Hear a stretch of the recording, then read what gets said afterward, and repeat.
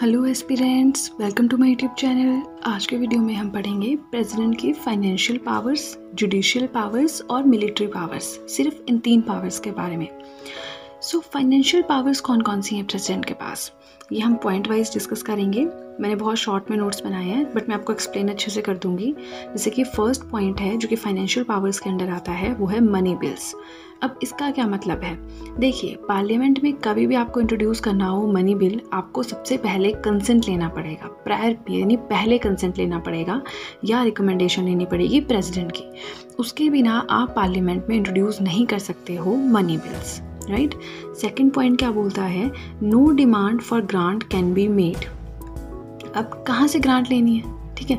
अब देखिए, सरकारी खाता होता है, वहाँ से पैसे निकालने हैं। तो वो पैसे कैसे निकाल सकते हो आप? पहले आपको प्रेसिडेंट की रिकमेंडेशन चाहिए। प्रेसिडेंट का हाँ चाहिए, तभी पैसे निकलवा सकते हो otherwise no there is a direct no right point number three under financial powers आता है that annual financial statement annual financial statement बहुत भारी भरकम वर्ड लग रहा होगा आपको, कि है क्या?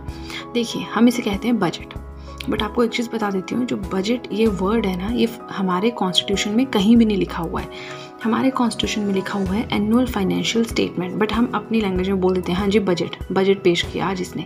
फाइनेंस मिनिस्टर ने आज बजट पेश किया, हम ऐसे बोलते हैं। बट ऐसा नहीं होता, वो होती है एनुअल फाइनेंशियल स्टेटमेंट तो जब भी बजट पेश करना हो पार्लियामेंट में, ठीक है, जैसे कि एनुअल फाइनेंशियल स्टेटमेंट पेश करनी हो पार्लियामेंट में तो पहले हमें प्रेसिडेंट का कंसेंट चाहिए। प्रेसिडेंट को रिप्रेजेंट करना पड़ेगा। प्रेसिडेंट उसको देखेगा, उसके बाद ही होगा। अब इसके लिए आर्टिकल की बात करें तो कौन सा आर्टिकल आता है? इसमें यह आता है अंडर आर्टिकल 112 जो 112 आर्टिकल है, उसमें आता है हमारा बजट राइट फोर्थ पॉइंट बोलता है can make advances out of the contingency fund of India यानी इंडिया का जो कंटेंजेंसी फंड है, वहाँ से पैसे निकालने हैं, ठीक है? तो वो कौन कर सकता है? प्रेसिडेंट कर सकता है। बट कंटेंजेंसी फंड होता क्या है? ये आपातकालीन कोई परिस्थिति आ जाए, कहीं पे बाढ़ आ गई, कहीं पे लैंडस्लाइड हो गया, कहीं पे बादल फट गया, बहुत नुकसान हो गया तो उस केस में एक आपातकालीन फंड होता है कंटेंजेंसी फंड कोई भी डिज़ास्टर हो जाए, उसके लिए रखा होता है तो वहाँ से पैसे निकलवाने हो, कौन निकालता है? प्रेसिडेंट निकाल सकता है। इसके लिए आर्टिकल की बात करें तो टू सिक्स सेवन दो सौ सतासठ आर्टिकल के अंडर ये आता है। Now last power financial last financial power जो प्रेसिडेंट के पास है, वो है constitute finance commission after every five years हर पाँच साल के बाद प्रेसिडेंट क्या करता है? एक फाइनेंस कमीशन बनाता है। एक फाइनेंस कमिश्नर बनता है, जो हम हमेशा ही पढ़ते हैं। तो ये भी किसके अंडर आता है? प्रेसिडेंट की फाइनेंशियल पावर्स के अंडर आता है। अब इसमें है क्या? आर्टिकल कौन सा है? 280 आर्टिकल है। फाइनेंस कमिश्नर जो होता है या फाइनेंस कमीशन जो है, ये करता क्या है? ये डिस्ट्रीब्यूशन देखता है। सेंटर और स्टेट के बीच में जो रेवेन्यू डिस्ट्रीब्यूशन है, उसके बारे में बताता है। राइट सो नेक्स्ट हम पढ़ेंगे जुडिशियल पावर्स फाइनेंशियल पावर्स हो गई हमारी कंप्लीट जुडिशियल पावर्स में देखिए थोड़ा सा ही है।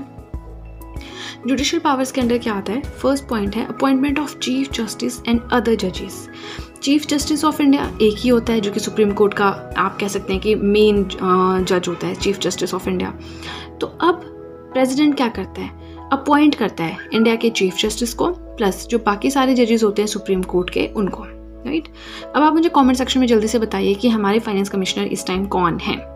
राइट नाउ सेकंड जो पॉइंट आता है जुडिशियल पावर्स के अंडर वो है under article sorry article 143 143 article ये क्या बोलता है कि प्रेसिडेंट जब भी चाहे एडवाइस ले सकता है सुप्रीम कोर्ट से लॉ के किसी भी चीज़ पे। कानून की कोई भी चीज़ है, कोई समस्या आ गई है प्रेसिडेंट सुप्रीम कोर्ट से एडवाइस ले सकता है। लेकिन जो सुप्रीम कोर्ट की एडवाइस है, वो ज़रूरी नहीं कि वो माननी पड़ेगी। प्रेसिडेंट को। बस प्रेसिडेंट को एडवाइस लेनी है। ये सारे आर्टिकल्स बहुत ज़्यादा इंपॉर्टेंट है। फिर हम बोलते हैं कि हमें तो आर्टिकल मिला ही नहीं हमें तो पता ही नहीं दो सौ सतासठ आर्टिकल कहाँ है। अरे, दो सौ सतासठ article contingency fund of India के बारे में। लेकिन हमें पता ही नहीं चलता क्योंकि वो इस तरह से बीच बीच में दिए हुए हैं। बेशक कंटिन्यूसी फंड के बारे में तो हम बाद में भी अच्छे से पढ़ेंगे। दो तरह के फंड्स हैं इंडिया के पास। इवन तीन तरह के हैं तो हम तीनों को पढ़ेंगे। मिलिट्री पावर्स की बात करें। मिलिट्री पावर्स भी हैं हमारे प्रेसिडेंट के पास। कैसी कैसी हैं? फ़र्स्ट पॉइंट है supreme commander of the defence forces of India India के जो डिफेंस फोर्सेज हैं, उसका जो मेन कमांडर है सुप्रीम कमांडर है, वो हमारे प्रेसिडेंट ही हैं राइट सेकंड है appoints chiefs of the army the navy and the air force very important army का जो चीफ होता है नेवी का जो चीफ होता है एयरफोर्स का जो चीफ होता है, कौन अपॉइंट करता है उसे? प्रेसिडेंट ही अपॉइंट करते हैं राइट थर्ड पॉइंट है डिक्लेयर्स वॉर कहीं पे युद्ध डिक्लेयर करना है प्रेसिडेंट ही करेगा कंक्लूड्स पीस कोई शांति संधि होती है ना, वो पीस ट्रिटी वो करनी है, कौन करेगा? प्रेसिडेंट ही करेगा। तो ये हो गई हमारी मिलिट्री पावर्स अब देखिए, हम इससे प्रीवियस वीडियो में लेजिस्लेटिव पावर्स पढ़ चुके हैं प्रेसिडेंट की।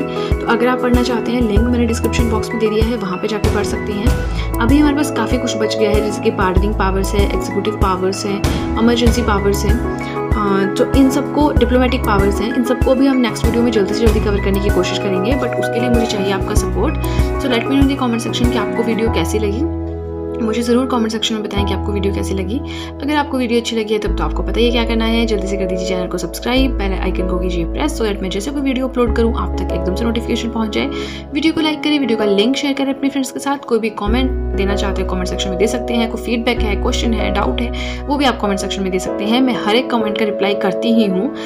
एंड आज की वीडियो के लिए इतना ही। मिलते हैं नेक्स्ट वीडियो में जिसमें हम बाकी जो फर्दर पावर्स रह गई हैं उनके बारे में डिस्कस करेंगे। सो so, आज की वीडियो के लिए इतना